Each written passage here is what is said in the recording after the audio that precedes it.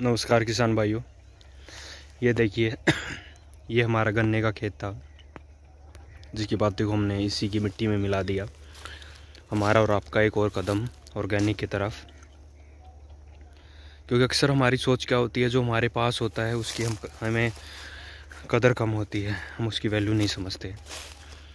इसी में अगर हम आग लगा देते तो दिखने में तो खेत साफ़ सुथरा हो जाता, बाई भी अच्छी होती, अब इसमें गेहूँ लगाएँगे।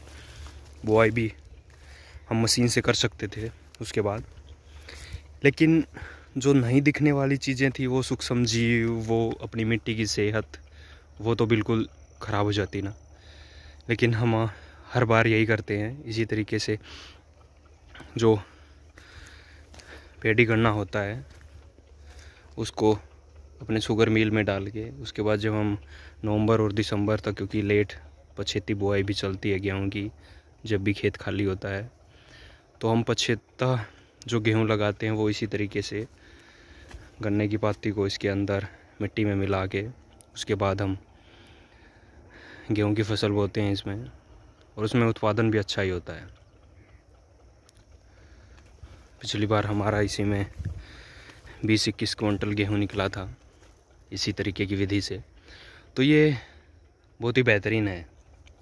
इसके रिज़ल्ट बहुत दूरगामी हैं। मिट्टी की सेहत सुधरती है, जो सूक्ष्म जीव हैं मिट्टी में, उनकी संख्या बढ़ती है। आग लगाने से तो सब कुछ ही ख़त्म हो जाएगा।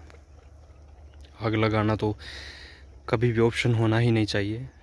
हमारे वातावरण पर उसका बुरा प्रभाव पड़ता है, साथ ही हमारी मिट्टी भी ख़राब होती है। हम पहले आग लगाते हैं, फिर बाहर से रासायनिक खाद डाल के अपने खेत को सुधारने की कोशिश करते हैं। वो सुधार नहीं है। आग लगा के आपने ख़राब किया, रासायनिक खादों के साथ फिर आप उसे ख़राब ही कर रहे हो। मिट्टी की सेहत को बिल्कुल बर्बाद कर रहे हो इस तरीके से। लेकिन अगर आप ये विधि अपनाते हो तो आपकी मिट्टी की सेहत तो अच्छी रहेगी, आपका उत्पादन भी अच्छा होगा, और आप साल दर साल अच्छी खेती कर सकते हो, क्योंकि मिट्टी को खाने के लिए कुछ ना कुछ तो चाहिए।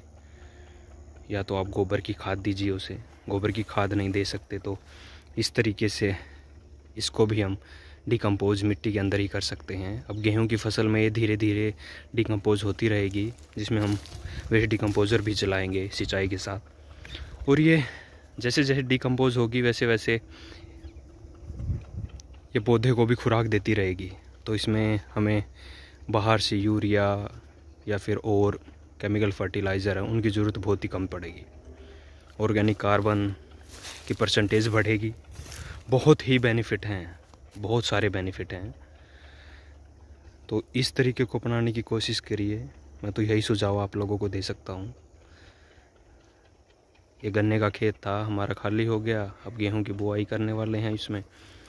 तो अभी एक दो दिन ये थोड़ा सा गीला खेत है तो अभी एक दो दिन धूप लगने के बाद फिर इसमें गेहूँ की बुआई होगी।